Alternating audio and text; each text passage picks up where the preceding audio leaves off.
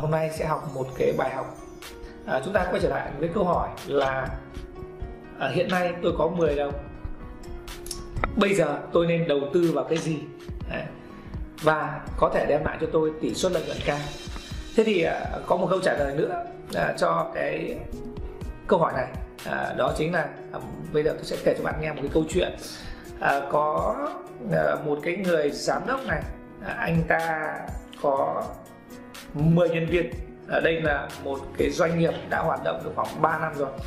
Thế thì anh này à, một ngày à, anh ta mới quyết định là cho một cái bạn ở trong công ty. Đây một cái bạn rất là trẻ, chỉ mới là ngoài 25 tuổi thôi. Bạn này đi học một cái lớp marketing. Và cái lớp marketing này, tất cả cái chi phí nó hết khoảng độ tầm trên dưới 1.000 đô la. Tức là khoảng độ trên 23 triệu đồng. Thế thì cái khóa học này nó mất khoảng một tháng và sau khi mà tham dự cái lớp học này xong thì bạn này à, bạn ấy bắt đầu à, quay trở về công ty và bạn ấy làm việc phục vụ cho công ty à, làm những cái hoạt động về marketing online cho công ty. Nhờ cái kiến thức mới, cái kinh nghiệm mới mà bạn ấy học được, bạn ấy triển khai cái hoạt động marketing của công ty. Và mỗi một tháng công ty bắt đầu kiếm thêm được một cái khoản tiền bình quân mỗi một tháng là thêm được 50 triệu đồng một tháng. Thế thì 50 triệu đồng một tháng uh, tương ứng với lại là một năm là 600 triệu đồng một tháng. Như vậy từ một khoản tiền đầu tư ban đầu là 1.000 đô la tức là khoảng độ 23 triệu đồng và nó trở thành một cái số tiền là 600 triệu đồng. Như vậy nó rơi vào gấp khoảng độ gần 30 lần. Đấy, gần 30 lần. Thì uh, bạn học được cái bài học gì uh, qua cái câu chuyện vừa rồi?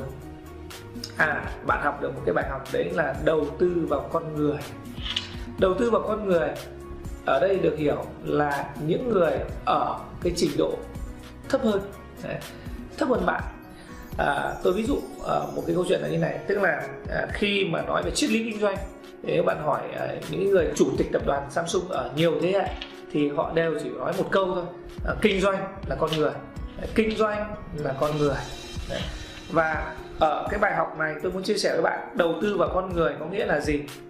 Ờ, đầu tư vào con người là thể loại đầu tư một đồng ăn 100 đồng. Và trong nhiều trường hợp một đồng ăn một nghìn đồng. À, chính bản thân tôi cũng đã từng trải nghiệm cái điều này à, khi tôi đầu tư vào một bạn và bạn ấy có thể phát triển lên một công ty hàng trăm nhân viên.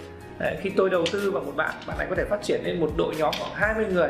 Đấy, triển khai những cái hoạt động về marketing và bán hàng Đấy, tạo ra doanh số vài chục tỷ đồng uh, cho những cái hoạt động à, ví dụ như là à, mở bán một cái bất động sản một cái khu uh, dự án. Thì cái bài học ở đây bạn à, có thể ghi vào cái sổ thông thái của mình là đầu tư vào con người. À, tôi ví dụ à, một cái câu chuyện nữa để bạn hiểu là nếu như một cái gia đình à, một cái dòng họ một cái dòng tộc mà người ta có cái tư duy này thì cuộc đời sẽ thay đổi như thế nào? À, có một cái dòng dòng dòng họ à, một cái gọi là là, là uh, gia tộc thì thực tế ban đầu xuất phát điểm họ rất là nghèo rất là nghèo. Tất cả mọi người đều rất là nghèo. Uh, và sau đó một ngày thì cái người mà trưởng đấy, gọi là cái người trưởng gia tộc đó họ mới quyết định là bây giờ là phải nhìn lại toàn bộ ở trong cái dòng họ của mình. Đấy. ai là người có cái tiềm năng? Đấy, ai là người có tiềm năng?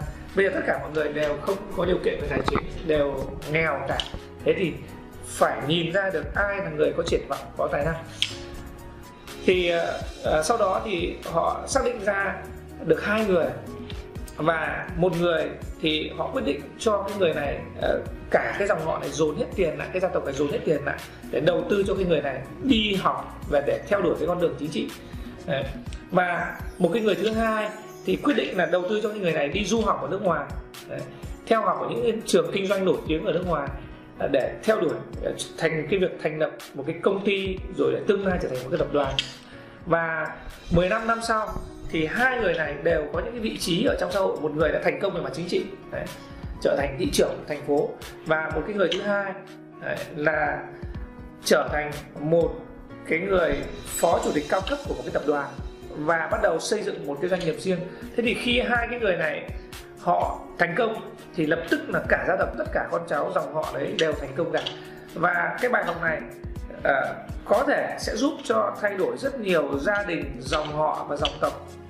Đấy, đấy là cái việc là một số người lãnh đạo của cái dòng họ đó dòng tộc đó cần phải nghiêm túc ngồi và xem xét lại trong tổ chức trong dòng họ nhà mình. Đấy là ai là người có tiềm năng và chúng ta đầu tư vào cái người đó. Thì uh, nếu không tất cả mọi người khi mà xé lẻ các nguồn lực ra thì đều là không thành công và giàu có uh, và cái câu chuyện vừa rồi nó cũng chỉ nói lên một cái bài học thôi đó là phải biết đầu tư vào con người. Uh, rất nhiều chủ doanh nghiệp à, hay là nhà đầu tư là tôi đã gặp những nhà đầu tư uh, ví dụ như là uh, đã ngoài 50 tuổi ngoài 60 tuổi rồi cái việc mà ví dụ giả sử bán một cái tài sản bất động sản thì nếu như mà người ta biết làm uh, online biết làm marketing online thì người ta sẽ bán nhanh rất nhiều. Nhưng những người 50 60 tuổi đó họ không thể nào đi ngồi uh, tham dự một cái lớp học về marketing online và sau đó về họ tự làm quảng cáo được.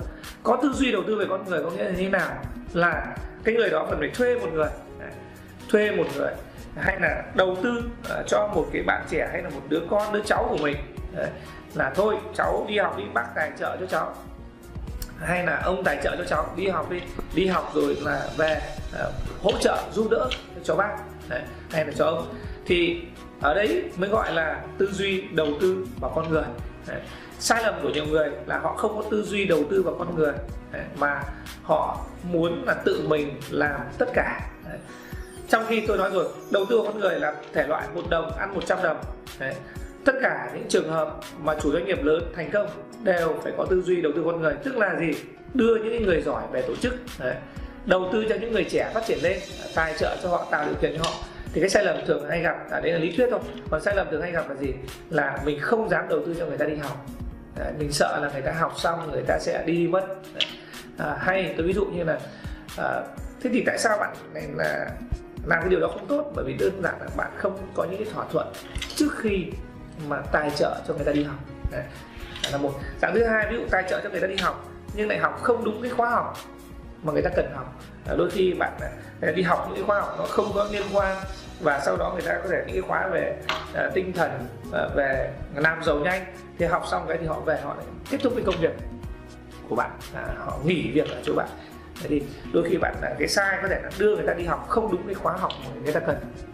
Trong khi nếu học đúng cái khóa học người ta cần người ta vừa có thể là có tăng thêm thu nhập à, vừa đóng góp được nhiều cho tổ chức và tổ chức lại phát triển lên và họ lại càng thành công hơn. Đấy. thì à, à tôi muốn là bạn hãy ghi cái bài học này vào cái sổ thông thái của bạn à, một cái thể loại đầu tư một đồng ăn 100 đồng. Đó là hãy đầu tư vào con người. À, chúc bạn gặp nhiều may mắn.